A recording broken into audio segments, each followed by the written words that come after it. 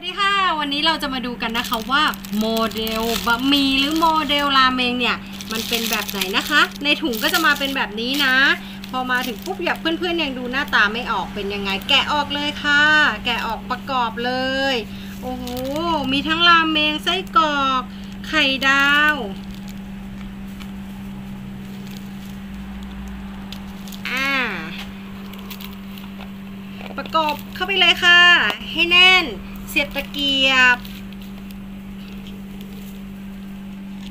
อ่าเรียบร้อย เป็นยังไงบ้างคะ โมเดล